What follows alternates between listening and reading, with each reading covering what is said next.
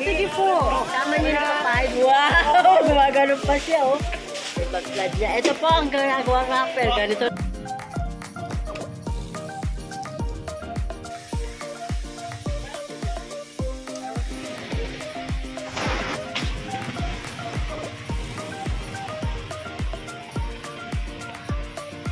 Hello everyone! Welcome back sa ating channel.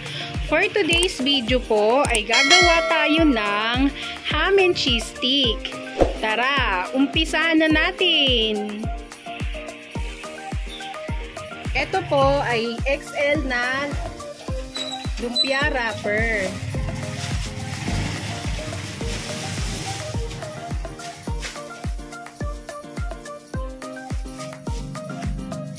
Yan. So, isang tanda muna po yung gagamitin natin. Sa isang tanda, may sampung piraso po ito.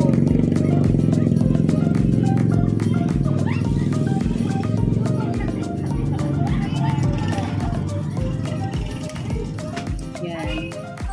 Ikakat lang po natin to sa apat.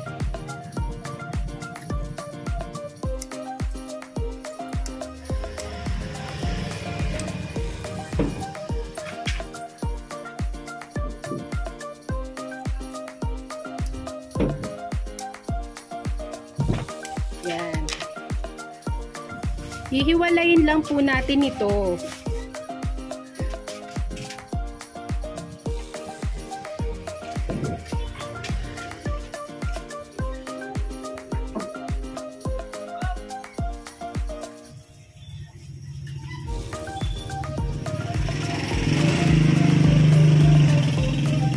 Kapag nahiwalay na po, ilalagay na natin sa plastic kasi po tumitigas po agad ito. Ito naman po yung ating ham. Bili ko po nito ay 55 pesos.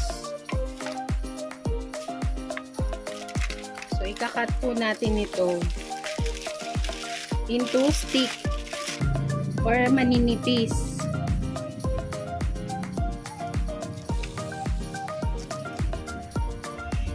Isi-set aside muna natin ito.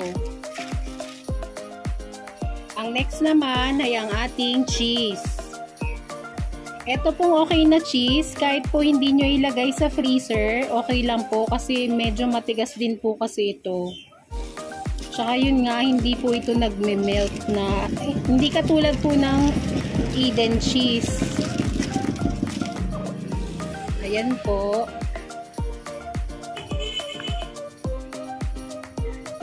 Sa isang slice, ikakat lang natin ito ng 4 pieces. Okay. Yan po. Tapos gagawin lang natin ito hanggang sa maubos natin yung ating cheese. Ito na po ang ating cheese. Bawat isang stick po ay 3 grams. Pati po ang ating ham. 3 grams po. Ito po ay harina at tubig lamang. Pandikit po ito sa ating lumpia wrapper. Sa wrapper, maglalagay tayo ng ham at ng cheese at iroroll lang natin ito. Pwede naman po na i-stock ito sa ating freezer. Tapos po, kapag may bibili na, pwede naman saka natin ito lulutuin.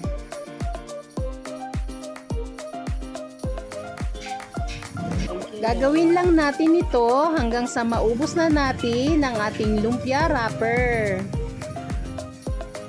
Kung gusto nyo po ng ganitong mga video, please like and subscribe to our YouTube channel. Thank you and God bless!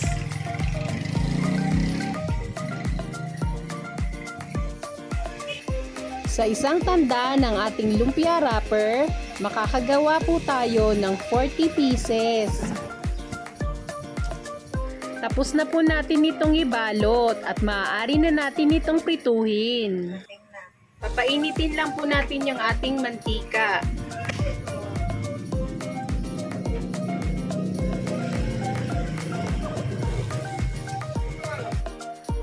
At kapag na golden brown na, maaari na natin itong iahon.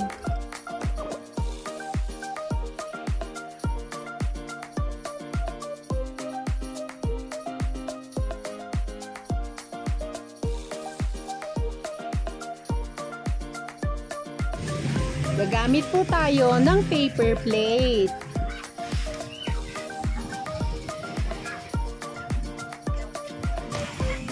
Sa isang paper plate, maglalagay po tayo ng ham and cheese na limang piraso.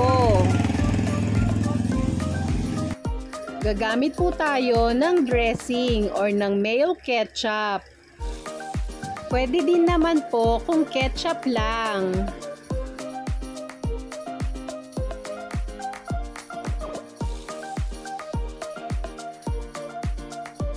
Sana po ay nakatulong ako sa bidyong ito. Please like and subscribe to our YouTube channel for more videos. Keep safe and God bless!